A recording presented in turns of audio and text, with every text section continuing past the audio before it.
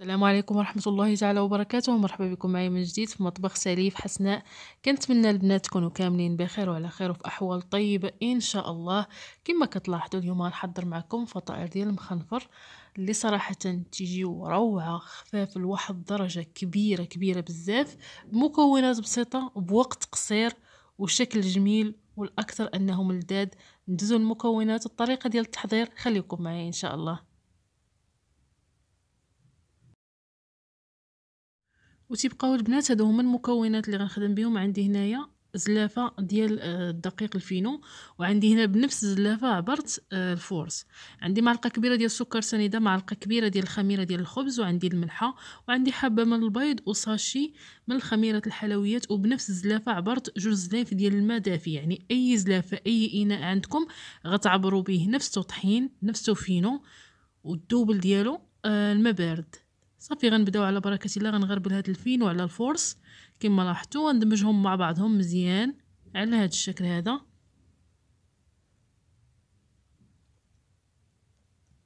غادا نضيف آه، كيس من الخميرة ديال الحلويات الوزن ديالها 8 غرام.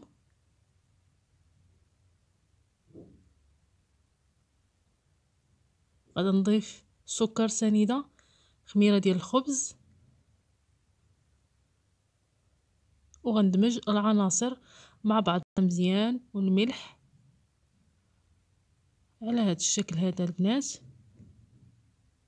يعني ما نحتاجوش ندلكوه نهائيا بيدينا نخدمو بالخلاط الكهربائي. وبنفس الزلافة اللي عبرت بها كما قلت لكم آه، الطحين ديال الفينو وال force غنعبر بها جوج زلايف قد قد يعني عامرين مزيان ديال المدافي الزلافة الأولى.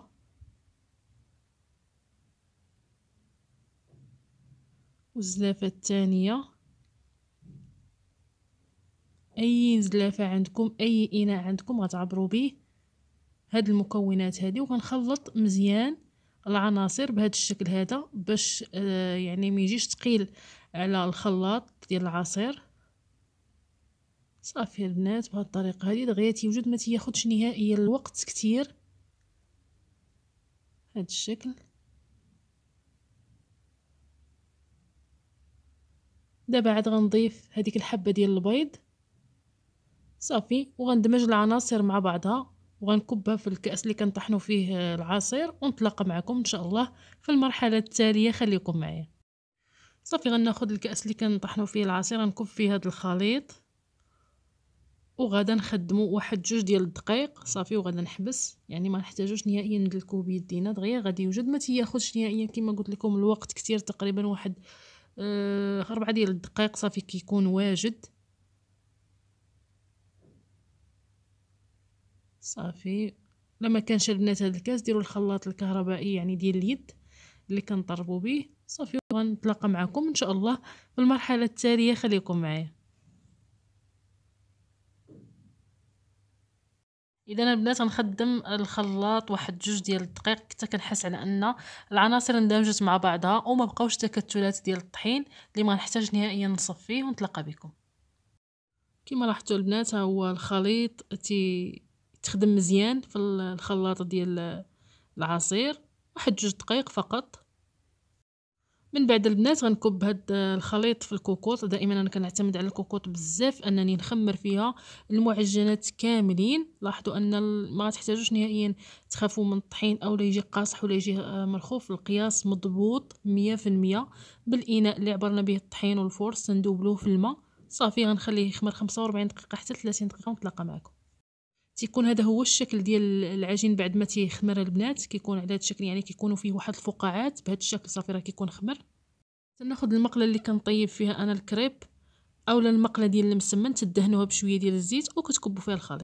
يعني البنات كيف كندهنوا المقلة؟ تنحطها فوق البوطة كنكب فيها مغرفة عامرة مغرفة متوسطة ما عامراش بزاف باش ما يجيوش غلاظ بزاف وما يجيوش رقاق هاد الفطائر ديال المخنفر. صافي كنقص البوطة في الأول ومن بعد كنزيد فيها باش ما يقصحوش.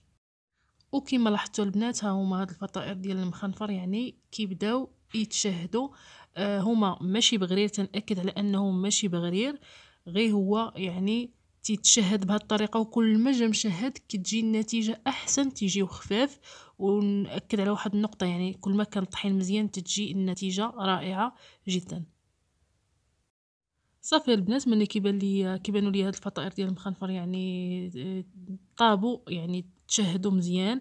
ما بقاش نهائيا العجينة في الوجه ديالهم غدا نقلبهم على الوجه الآخر.